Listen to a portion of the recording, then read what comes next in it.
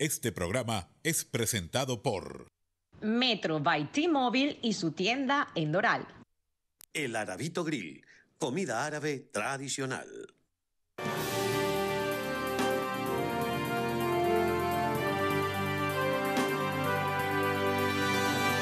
Amigas y amigos, bienvenidos a esta edición de eh, Dígalo aquí, BTV con la comunidad. Hay cuenta regresiva en Estados Unidos ante eh, lo que es la toma de posesión del presidente electo Joe Biden. Hay medidas de seguridad que se están tomando en Washington y esto sin duda ha mm, elevado la discusión en este gran país sobre si ha sido sobredimensionado lo que es este cuestionamiento de medidas de seguridad que ha asumido en este caso el FBI, la Policía Federal, ante las investigaciones que se han desarrollado luego de los ataques eh, recibidos en el Capitolio estadounidense. Para hablar un poco sobre la veracidad, las impresiones y las implicaciones que esto acarrea. De inmediato nos conectamos por la vía digital con un amigo de esta casa. Se trata de César Paz.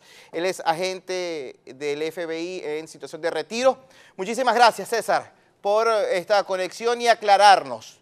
¿Se está exagerando con estas medidas de seguridad que se asumen en Washington? Bienvenido, buenas noches. Muchísimas gracias por la invitación y buenas noches con todos.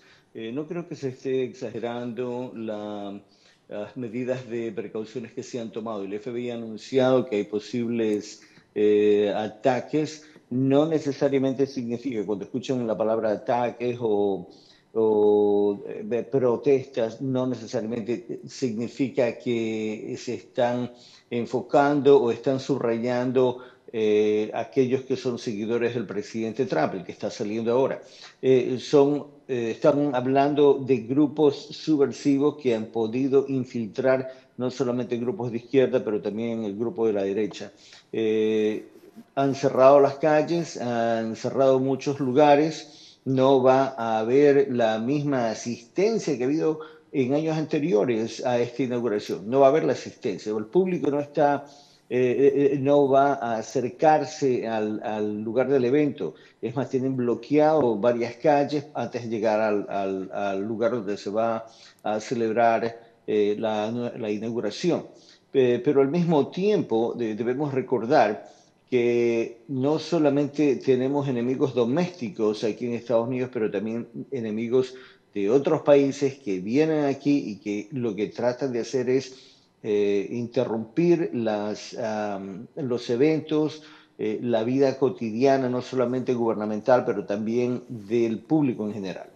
Sí, ahora, eh, César, en relación a un chequeo que se está ejecutando en estos momentos a los integrantes de la Guardia Nacional, destacada en las inmediaciones del Capitolio y todo el lugar que va a ser el escenario de esta inauguración del próximo gobierno eh, eh, esta situación también amerita la precisión, sobre todo para precisar, para determinar si existen enemigos domésticos infiltrados dentro de la Guardia Nacional? Mira, es necesario hacer todos estos chequeos. Deben recordar, eh, yo me jubilé del FBI hace aproximadamente 11 años y desde hace 10 años que empecé a hacer este, estas entrevistas, he dicho que nosotros como, como país eh, a nivel de ciudadanía, a nivel del de, sector privado, a nivel gubernamental, local, estatal y federal, estamos eh, penetrados, hemos sido penetrados por eh, grupos y por gobiernos, no solamente radicales, pero de izquierda también. Hemos tenido una serie de eventos que sucedió a través de los años. Estamos infiltrados no solamente por espías, pero también estamos infiltrados a nivel de gobierno, a nivel de Fuerzas Armadas por eh, pandillas, eh, estamos infiltrados eh, por grupos que son radicales como grupos racistas, cabezas rapadas, KKK, etcétera, etcétera. Y lo que muchos de estos grupos han hecho es enviar a sus miembros para que reciban el entrenamiento militar y luego que se deslindan, luego que salen de las Fuerzas Armadas, ellos son los que pueden emplear este tipo de entrenamiento a aquellos nuevos eh, eh, participantes o nuevos miembros de pandillas o grupos criminales. Esto es algo conocido desde hace mucho tiempo. Por lo tanto, pienso que es, una buena, es un buen método de poder filtrar eh, personas que son miembros de las Fuerzas Armadas o de cualquier grupo operativo, ya sea policial, estatal, etcétera, para poder eliminar algún tipo de problema.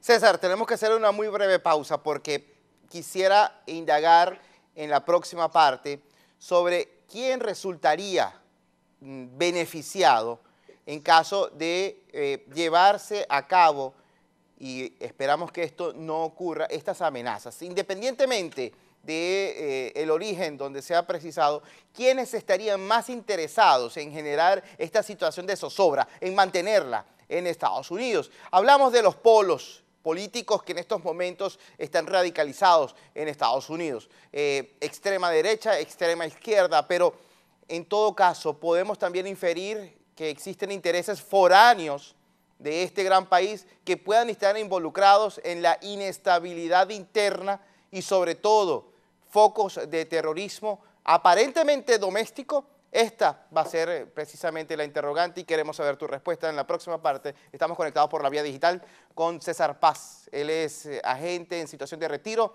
del FBI. No se aparten, ya regresamos.